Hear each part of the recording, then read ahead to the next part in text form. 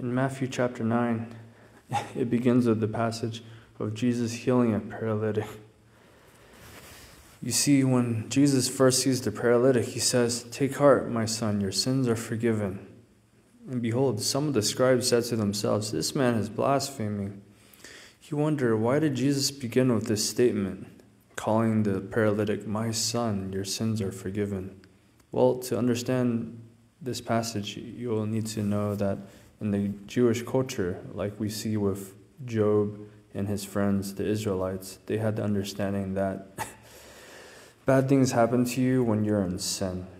So this paralytic, whether he was born a paralytic or someone who something happened that caused him to become a paralytic, the Jewish culture would have shunned him and thought him to be a greater sinner than the rest.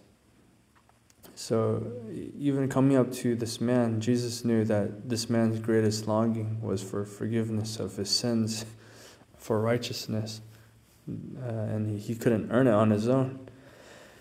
So the greatest thing that Jesus could tell him is, Take heart, my son, your sins are forgiven. He can forgive sins. Now, in verse 4, uh, Jesus knows the thoughts of these scribes who are criticizing him. They believe he's blaspheming. And that's true. If it was any other man who says they could forgive sins, that would be blasphemy. Only God can forgive sins.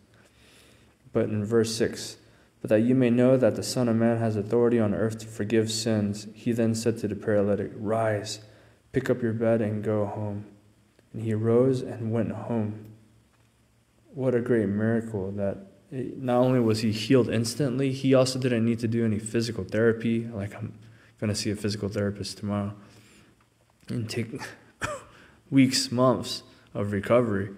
Uh, imagine this person hasn't moved in years, the muscle would have atrophied and been unable to support him. But Jesus, being God, instantaneously created where there was nothing beforehand.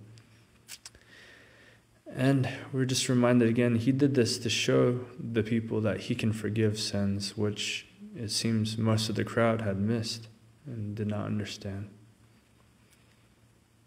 Our Father in heaven, thank you for your word this evening. Thank you for uh, seeing your love for the paralytic, just reminded of how you love and care for him. And Father, would you uh, remind us that you alone can forgive sins, and as you have demonstrated here, help us to cling to you as our hope, as our Lord, as our Savior.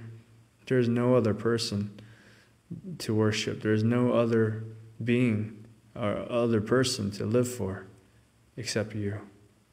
So, Father, thank you again for the privilege it is to spend in your word. Would you open our eyes anew to what your word has to say this coming year? We pray and ask all this in your Son, Jesus' name. Amen.